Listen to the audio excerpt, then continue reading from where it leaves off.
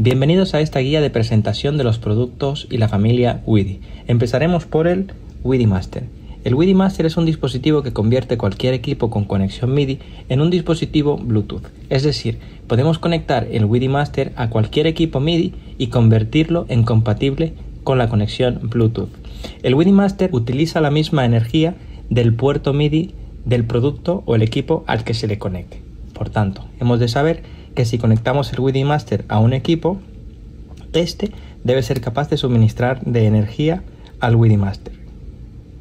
En el caso de que queramos conectar dos dispositivos entre ellos, nos harán falta dos equipos WIDI Master para poder hacerlo.